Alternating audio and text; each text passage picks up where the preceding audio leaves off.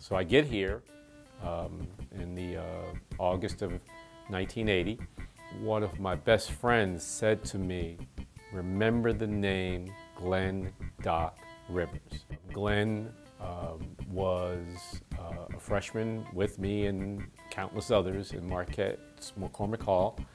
And I remember Marc Marotta was a freshman at that time.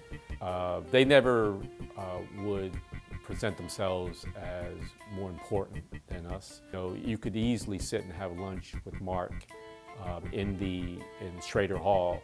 You can engage with Glenn in a way that was, um, you know, easy going, friendly, um, equals. So we're playing in the rec center. It's five on five pickup basketball, and um, Glenn is on the opposite team. And I make a steal. I have an uncontested route to the basket. I go up, shoot the ball, believing it's going to be a layup. I come down and I look, and everybody sitting on the sideline is looking that way. And I look that way, and I see the ball is still in the air going onto the other court. It dawns on me that Glenn had caught up to me, blocked the shot in such a demonstrative way that maybe it was quite uncalled for.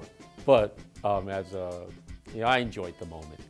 Uh, and, uh, you know, if you're going to have your shot blocked so demonstrably and be humiliated, um, having it by um, Glenn Rivers at that time uh, felt kind of good. I was on the same court with him.